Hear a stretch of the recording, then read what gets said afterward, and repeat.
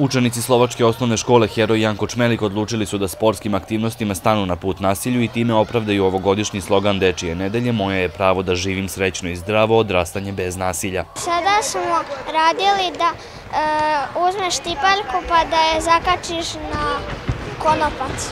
Jedan treba da zakači štipaljku, drugi da je otkači i da da do sledeći. Ko pobedi ima dobar osjećaj, a dobije i aplauz. Pored ove, u ovoj osnovnoj školi organizovane su i druge kulturno-umetničke i obrazovne aktivnosti. Dečja nedelja uvek e, nam dolazi ili pada u ovaj prvu celu nedelju tokom oktobra. E, neke aktivnosti su preslikane od prošlih godina, neke aktivnosti su nove. Ovogodišnja Dečija nedelja ima za cilj da skrene pažnju najšire javnosti na problem nasilja nad decom, te da svi odgovorni akteri pozovu na čvrsto i umreženo delovanje zarad nulte tolerancije prema nasilju i zaštite dece.